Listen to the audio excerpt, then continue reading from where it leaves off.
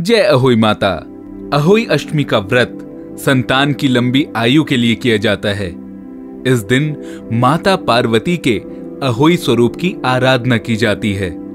हर साल कार्तिक मास के कृष्ण पक्ष की अष्टमी तिथि को अहोई अष्टमी का त्योहार मनाया जाता है। इस दिन महिलाएँ संतान प्राप्ति और अपने बच्चों की लंबी उम्र के लिए निर्जल उपवास करती हैं। फिर शाम को तारों के दर्शन करने के बाद उन्हें अर्घ्य देकर व्रत का पारण करती हैं। इस बार अहोई अष्टमी व्रत के दिन गुरु पुष्य योग भी है। इसीलिए इस व्रत का महत्व कई गुना बढ़ जाता है।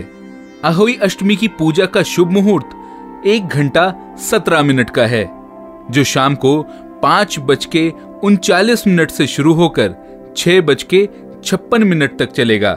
अहोई अष्टमी की पूजा के लिए चांदी की अहोई बनाई जाती है।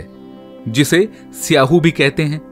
पूजा के समय इस अहोई माता की माला में रोली और अक्षत से पूजा करके एक चांदी का छल्ला और डाला जाता है और इस माला को माता की तस्वीर के सामने रखकर पूजा की जाती है। व्रत करने वाली माताएँ इसको पूजा के बाद अपने गले में पहनती हैं।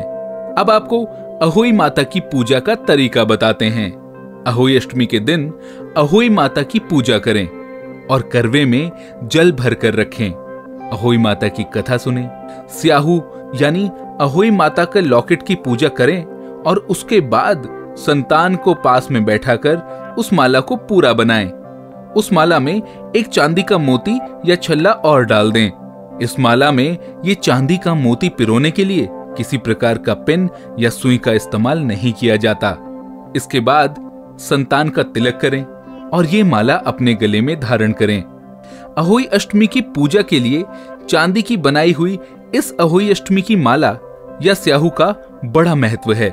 पूजा के समय इस माला की रोली अक्षत से पूजा की जाती है। इसके बाद एक कलावा लेकर उसमें स्याहू का लॉकेट और चांदी के दाने डालकर माला बनाई जाती है।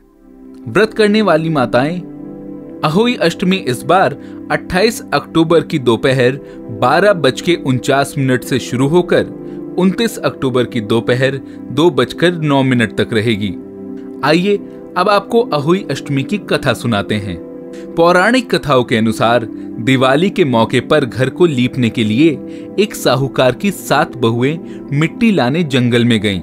तब उनके साथ उनकी ननद भी चली गई। साहूकार की बेटी जिस जगह मिट्टी खोद रही थी, उसी जगह स्याहू अपने बच्चों के साथ रहती थी। मिट्टी खोदते वक्त लड़की की खुरपी से स्याहू का एक बच्चा मर गया।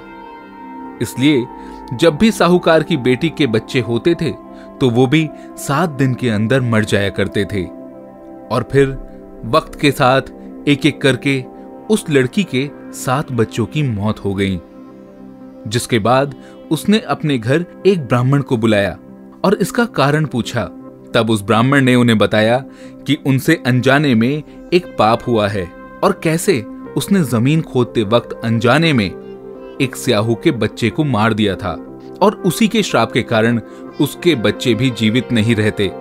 इसके बाद उस ब्राह्मण ने उसे इस श्राप से मुक्ति के लिए अहोई माता की पूजा करने को कहा और कार्तिक कृष्ण की अष्टमी तिथि के दिन अहोई माता का व्रत रखने की सलाह दी। उस महिला ने ऐसा ही किया। बाद में माता अहोई ने उसकी सभी मृत संतानों को जीवित कर दिया और इस तरह संतान की लंबी आयु और प्राप्ति के लिए इस व्रत को किया जाने लगा। आइए अब आपको बताते हैं कि इस व्रत में आपको क्या अवश्य करना चाहिए। इस व्रत को पूरी श्रद्धा और विश्वास के साथ किया जाता है।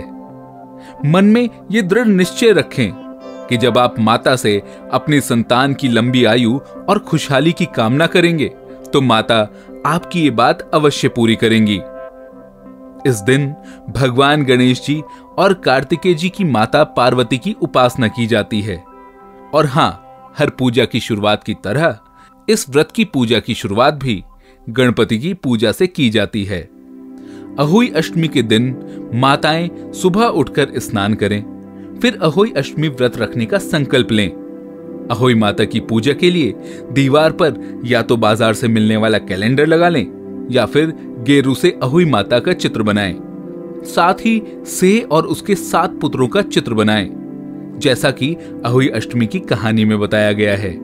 इसके बाद एक जल से भरा हुआ कलश उनके सामने रखें और रोली चावल से अहोई माता की पूजा करें।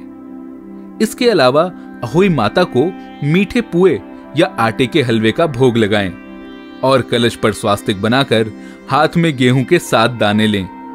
और फिर माता की कहानी कहें। फिर शाम को शुभ मुहूर्त पर तारों को अर्घ देकर इस व्रत का पारण करें। जय अहोई माता।